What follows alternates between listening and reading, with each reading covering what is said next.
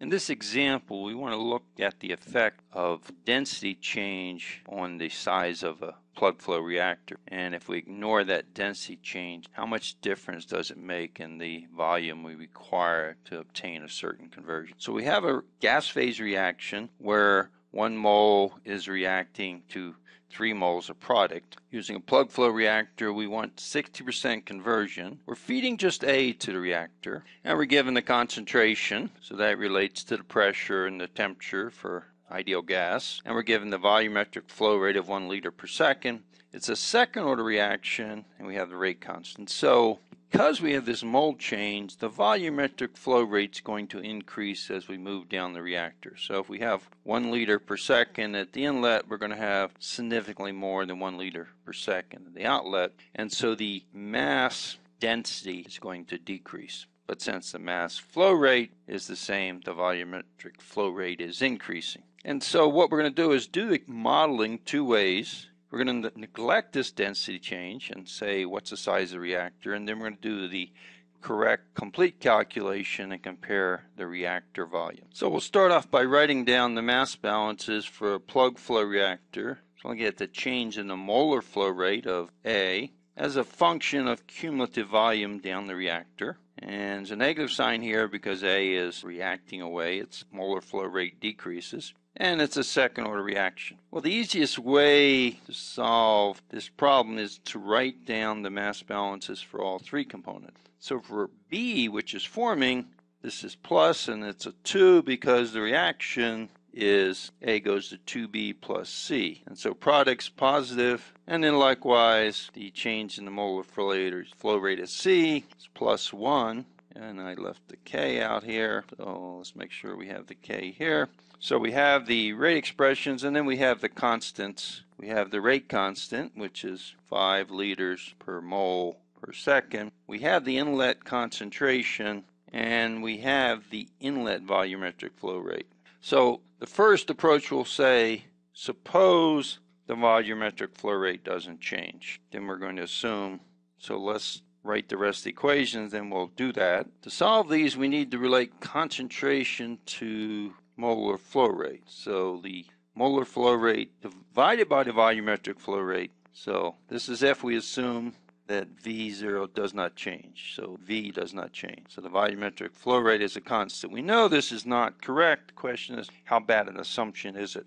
To solve these differential equations, we need initial conditions, namely at the inlet reactor, the molar flow rate of A, well, it's equal to the volumetric flow rate times the concentration so this is 1 liter per second, 0.02 moles per liter. So this is the inlet flow rate. We could call that FA0. Inlet flow rate 0.02 moles per second. Inlet, inlet flow rate of B, same as the inlet flow rate of C, that's equal to 0.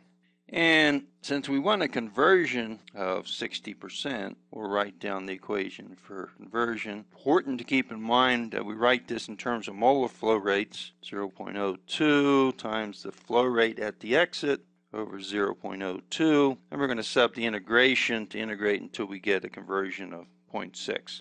So I'll solve these differential equations using polymath. And this is the equations as I write them in polymath, where I've written the differential equations and the initial conditions, define the concentration of A in terms of molar flow rate of A. Our starting volume, we integrate from volume equals zero. I'm going to inter integrate to the final volume, so so VF is just the final volume, and basically I integrate it to a large volume from the first time of running the program until I could determine at what volume I have a conversion of 0.6. And then I made the, the final volume just to make the, the final output look cleaner. And so when I run that, here's the output from Polymath that shows initial, minimum, maximum, final values. And the one we're interested in is conversion. We go from zero conversion inlet to 0.6 at the outlet. The volumetric flow rate is constant and the volume is 15. So the volume is 15 liters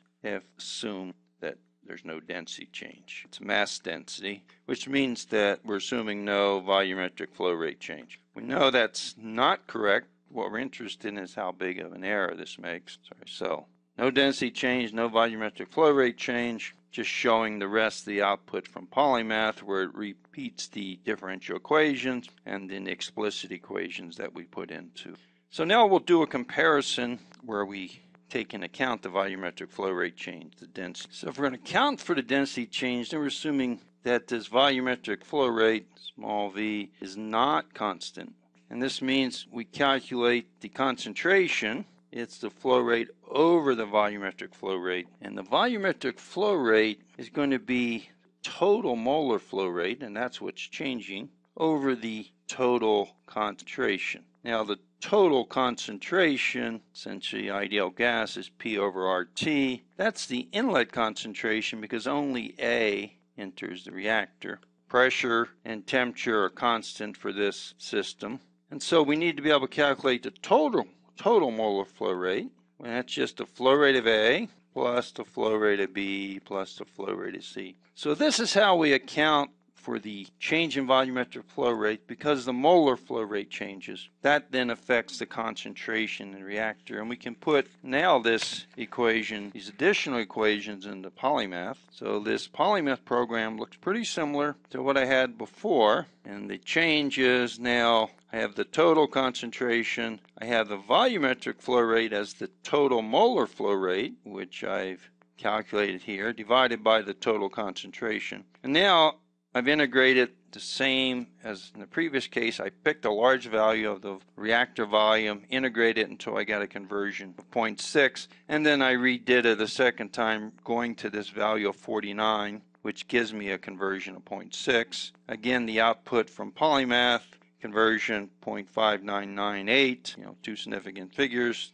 This is a volume of 49. So, so now I have the volume equals 49 liters if we account for the density change. What is a rather large difference. Volume equals 15 liters if we ignore density change. So this, of course, is the correct value. This is not. Shows that for a second order reaction with a significant mole change, there's a rather dramatic difference, more than a factor of three in the volume. It means we have very large area if we don't take into account density change in the gas phase reaction, particularly when the reaction order is higher.